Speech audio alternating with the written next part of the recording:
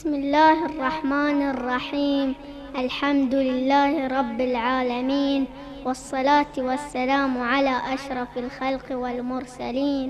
سيدنا محمد وعلى آله الطيبين الطاهرين. السلام عليكم أيها الحفل الكريم ورحمة الله وبركاته.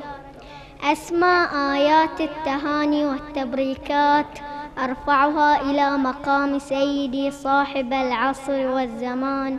الإمام المنتظر أرواحنا لتراب مقدمه الفداء وإلى مراجعنا العظام وإلى علمائنا الأعلام. ولكم أيها الحضور الكرام بمناسبة ذكرى ولادة كريم أهل البيت الإمام الحسن المجتبى عليه السلام. ويسرني أن أقف أمامكم لأقدم لكم لمحة بسيطة عنه عليه السلام. هو الإمام الحسن بن علي بن أبي طالب عليه السلام. ولد في اليوم الخامس عشر من شهر رمضان المبارك في السنة الثالثة للهجرة. أبوه الإمام علي بن أبي طالب عليه السلام أمه الزهراء ابنة النبي محمد صلى الله عليه وآله وسلم. أخوه الشهيد الإمام الحسين بن, بن علي عليه السلام. وجده النبي الأكرم الرسول الأعظم وعاش معه حوالي سبع سنين. سماه جده النبي حسنا بعد أن نزل عليه الوحي بتسميته وأمر بختانه يوم السابع لولادته وتصدق عنه ألقابه الطيب والتقي والزكي والولي والصبط والمجتبى. كنيته أبا أبو محمد وهو مع أخيه الحسين سيدا شباب أهل الجنة. وهو أحد اثنين انحصرت بهم بهما سلالة الرسول الكريم صلى الله عليه وآله وهو أحد الأربعة الذي باهل بهم النبي الكريم نصارى نجران. وهو من أصحاب الطهر الذين الذين نزلت نزلت بهم الآية, الآية الكريمة الذين أذهب الله عنهم الرجس وطهرهم تطهيرا. ومن, ومن الذين أمر الله تعالى بمودتهم حيث قال قل لا أسألكم عليه أجرا إلا المودة في القربى قال فيه النبي الكريم وفي أخيه وفي أخيه الشهيد الحسين اللهم إني أحبهما فأحبهما وأحب من أحبهما. وروي عن النبي أنه قال أما الحسن فله هيبتي وسؤددي وأما الحسين فله جرأتي وجودي. ورث الكرم ورث الكرم والعلم والأخلاق الفاضلة من بيت النبوة والإمامة. والتضحية في سبيل الله والصلابة في الحق. وحب الفقراء.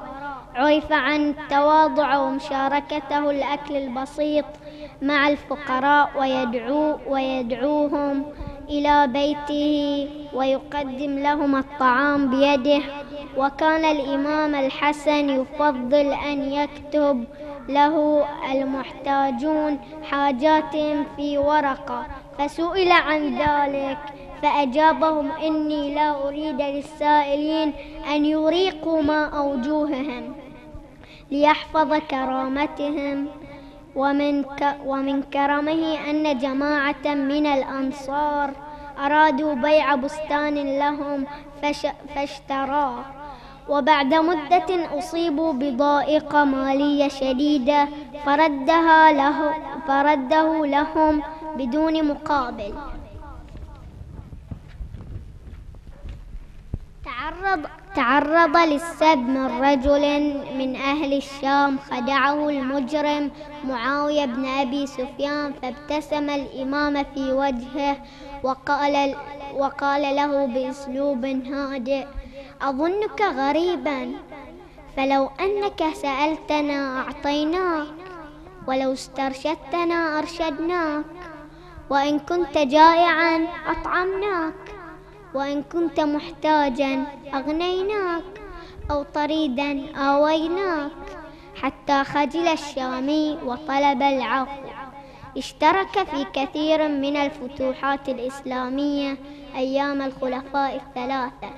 ساند الصحابي أبا ذر عندما هجره عثمان من المدينة.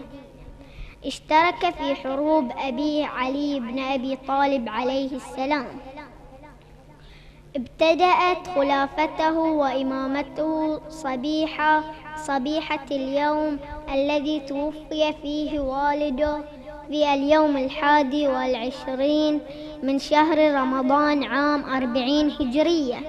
عقد الصلح مع معاوية بن أبي سفيان وكان من وكان من بنود الصلح أن يتوقف معاوية عن اعتقال محبي الإمام علي وأتباعه وأن يعهد بالحكم إلى الحسن بعد وفاته وإن لا يرث ابنه الحكم ولا يسمي نفسه أمير المؤمنين وأن يؤمن وأن يؤمن أصحاب وأن يأمن أصحاب علي على أرواحهم ولكن معاوية كعادته نقض نقض المعاهدة قائلا في اجتماع عام أن كل شرط أعطي أعطيته للحسن ابن علي فهو تحت قدمي هاتين. عاد إلى المدينة تاركا العراق. من من أولاده القاسم وعبد الله استشهدا مع عمهما الإمام الحسين في في كربلاء وجرح ابنه الثالث الحسن المثنى ومن ومن الذرية الحسنية والحسن الأنور والد والد السيدة نفيسة ذات المقام المعروف بالقاهرة. قتله معاوية بالسم عن طريق زوجته جعدة بنت الأشعث بن قيس. بعد أن وعدها بتزويج بتزويجها من ابنها يزيد ومائة ألف درهم ولم يفي بعهده كالعادة. وذلك يوم سبع, سبع صفر عام خمسين هجرية. ودفن في ودفن في مقبرة البقيع بالقرب من جده النبي صلى الله عليه وآله وسلم في المدينة المنورة. بعد أن منع من دفنه بجوار جده النبي صلى الله عليه وآله وسلم.